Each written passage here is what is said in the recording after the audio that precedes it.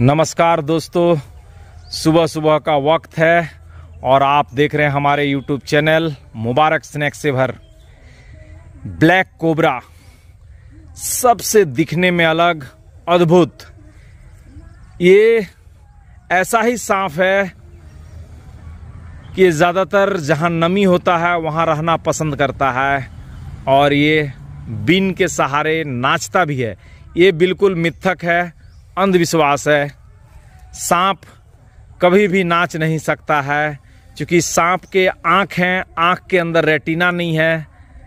इसे दिखलाई भी नहीं पड़ता है और कान नहीं है, जिसके कारण इसे सुनाई भी नहीं पड़ता है।